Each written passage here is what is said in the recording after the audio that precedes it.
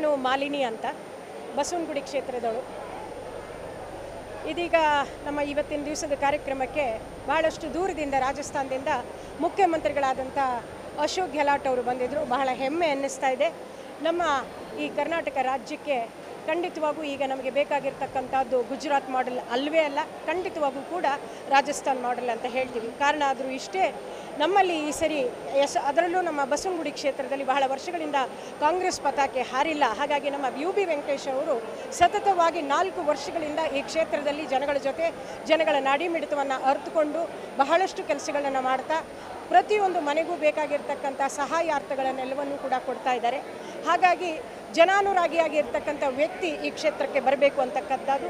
ಹಾಗೆ ಕೂಡ ಕಾಂಗ್ರೆಸ್ ಪಕ್ಷ ಕೊಟ್ಟಿರ್ತಕ್ಕಂಥ ಈಗ ಏನು ನಮಗೆ ಪಂಚರತ್ನಗಳನ್ನು ಕೊಟ್ಟಿದೆ, ಖಂಡಿತವಾಗೂ ಕೂಡ ಅದು ನಮ್ಮ ಬಿ ಪಿ ಎಲ್ ದಾರರಿಗೆ ಮತ್ತು ನಮ್ಮ ಜನಕ್ಕೆ, ಅದರಲ್ಲೂ ಕರ್ನಾಟಕ ರಾಜ್ಯದಲ್ಲಿ ಬಹಳಷ್ಟು ಡಬಲ್ ಇಂಜಿನ್ ಸರ್ಕಾರದಿಂದ ಬಸಳೋಗ್ಬಿಟ್ಟಿದ್ದೀವಿ ಬಹಳಷ್ಟು ಬೇಸತ್ತಿದ್ದೀವಿ ಹಾಗಾಗಿ ಹೇಳ್ತಕ್ಕಂಥದ್ದು ಒಂದು, ಮಾಡ್ತಕ್ಕಂಥದ್ದು ಒಂದು, ಆದರೆ ಕಾಂಗ್ರೆಸ್ ಪಕ್ಷ ಯಾವಾಗೂ ಕೂಡ ಹೇಳಿದ್ದನ್ನೇ ಮಾಡಿದೆ.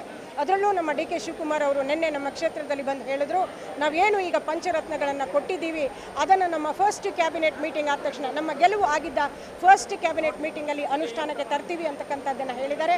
ಹಾಗಾಗಿ ಬಹಳಷ್ಟು ಹೆಮ್ಮೆಯ ವಿಷಯ. ಅಶೋಕ್ ಗೆಹ್ಲೋಟ್ ಅವರ ಆಶೀರ್ವಾದ ನಮ್ಮ ಮೇಲೆ ಇರಲಿ. ಹಾಗಾಗಿ ನಮಗೆ ಕರ್ನಾಟಕದ, ಕರ್ನಾಟಕದಲ್ಲಿ ನಮಗೆ ಖಂಡಿತವಾಗೂ ಕೂಡ ರಾಜಸ್ಥಾನ್ ಮಾಡೆಲ್ ಬರಲಿ ಅಂತಕ್ಕಂಥದ್ದು ಸಾಕಷ್ಟು ಬಡ ಜನಗಳಿಗೆ ಅಲ್ಲಿ ಅನುಕೂಲಗಳನ್ನ ಮಾಡಿಕೊಡ್ತಾ ಬಂದಿದ್ದಾರೆ. ಇನ್ಫ್ಲೇಷನ್ ಕೂಡ ಅಲ್ಲೊಂದು ಸೆಲ್ ಅಂತ ಮಾಡಿದ್ದಾರೆ.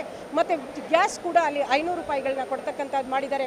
ಇಂಥ ಎಲ್ಲ ಕಾರ್ಯಕ್ರಮಗಳನ್ನು ನಮ್ಮ ಕರ್ನಾಟಕದಲ್ಲಿ ಅನುಷ್ಠಾನ ಮಾಡಬೇಕು. ನಮ್ಮ ಯು ಬಿ ವೆಂಕಟೇಶ್ವರವರು ಈ ಕ್ಷೇತ್ರದಲ್ಲಿ ಬಹಳಷ್ಟು ಬಹು ಬಹಳಷ್ಟು ಮತಗಳ ಅಂತರದಿಂದ, ಹೆಚ್ಚಿನ ಮತಗಳ ಅಂತರದಿಂದ ಗೆದ್ದು ಈ ಕ್ಷೇತ್ರಕ್ಕೆ ನಮ್ಮ ಶಾಸಕರಾಗಿ ನಮ್ಮೆಲ್ಲರ ಆಸೆಯನ್ನು ಈಡೇರಿಸಬೇಕು ಅಂತ ಈ ಮೂಲಕ ತಮ್ಮೆಲ್ಲರಲ್ಲೂ ಕೂಡ ಈ ಮಾಧ್ಯಮದ ಮೂಲಕ ಕೇಳ್ತೇನೆ.